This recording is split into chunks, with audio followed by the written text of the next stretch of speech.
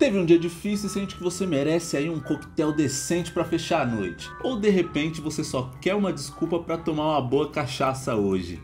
Depois da vinheta.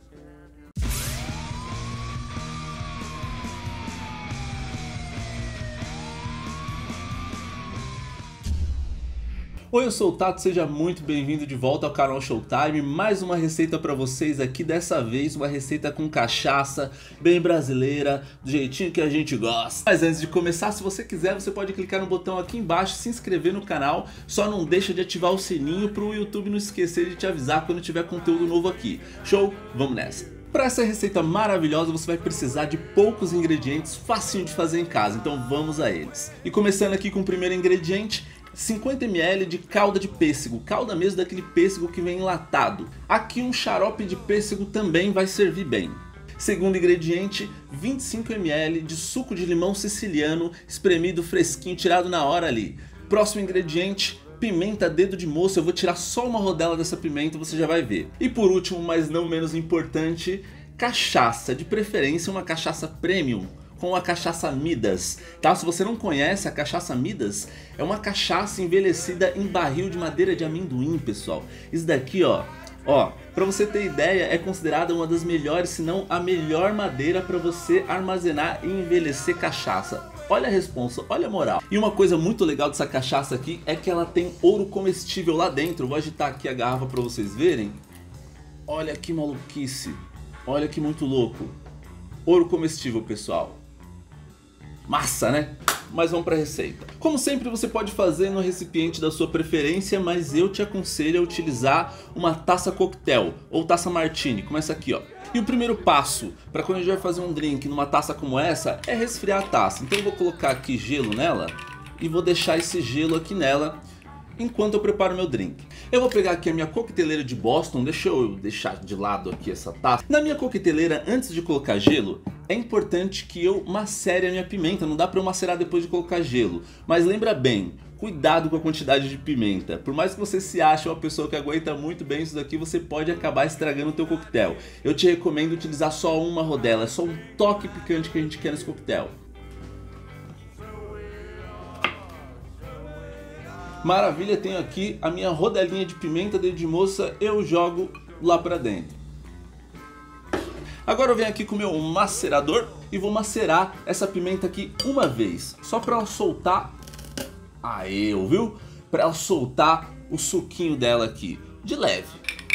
Agora eu ponho gelo na minha coqueteleira e vamos começar a adicionar os outros ingredientes aqui. Vamos começar pela calda de pêssego, eu estou utilizando 50 ml dela, hein? Maravilha. O próximo aqui é o meu suco de limão siciliano. Reserve um pedaço da casca para você utilizar no final dele. Hum. Agora eu venho aqui com a minha cachaça Midas maravilhosa. 60 ml. 30. 60. Agora é só fechar a nossa coqueteleira e shakear isso daqui bem na manha, tá? Shakear devagarinho, porque eu não quero criar muita bolha, muita espuma aqui dentro. Eu quero só misturar os meus elementos. Você pode, se quiser, só mexer com uma colher. Eu prefiro bater na coqueteleira porque eu deixo ela um pouco mais gelada. Maravilha, batemos aqui o nosso drink maravilhoso. Beleza. Agora eu pego aqui a minha taça com gelo, eu vou descartar o meu gelo.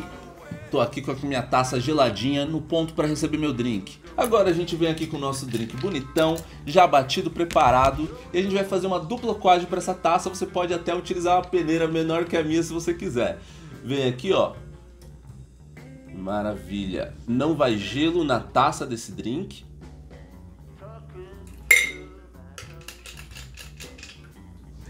Maravilha. Hum, ó, o aroma desse drink já é maravilhoso e ele nem tá pronto ainda, hein? Lembra que eu falei para você reservar um pedaço de casca? Pois é, você vai cortar uma tira dessa casca e você vai, ó, torcer aqui em cima do coquetel. Vai torcer. Quando você torce, ela vai esguichar os olhos dessa casca aqui, ó, e vai, ó, deixar o aroma dele ainda mais intenso. Você pode inclusive passar aqui nas laterais essa casca para saborizar as bordas aqui dessa taça, jogar para dentro e você pode finalizar esse drink com um toque especial. Você pode vir aqui com um galinho de alecrim e colocar no cantinho da taça dessa forma.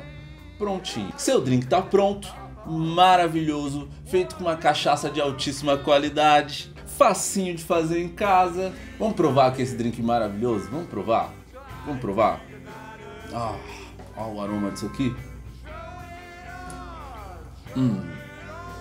Amidas ela tem um toque muito especial, que essa, esse amadurecimento dela no barril de, de amendoim dá um toque muito macio, frutado, porém bem macio para essa cachaça. Então ela é ótima para coquetéis assim que você quer tomar tranquilo em casa, você não quer algo forte demais, você quer sentir as notas dos sabores intensos da cachaça, da maravilhosa cachaça que a gente tem que ter muito orgulho aqui no Brasil, mas você quer notas suaves, você quer notas equilibradas de sabor. Essa aqui é a cachaça certa. Esse drink aqui ele vai brincar com as notas frutadas dessa cachaça e vai misturar elas ali com as notas do limão siciliano que a gente está trazendo e ó, funciona muito bem essa combinação aqui. A gente sabe que cachaça e limão, né? A gente sabe, né, que funciona bem. E aí a gente traz aqui uma suavidade da calda de pêssego que faz, ó, essa mistura aqui ficar ó, maravilhosa, não tenho nem o que dizer. É isso, faz em casa, prova essa maravilha aqui e me conta como é que ficou aqui nos comentários. Em falar isso com comentários, você pode deixar aqui embaixo sua sugestão do que você quer ver aqui no canal. Qual receita você quer ver? que tipo de bebida você quer que eu faça drink aqui. O importante é você participar, mas principalmente me dizer se você fez isso daqui em casa e o que, que você achou. E caso você nunca tenha provado a cachaça Midas, perde a oportunidade não. Ah, não esquece de avaliar o vídeo, importante, hein? avalie o vídeo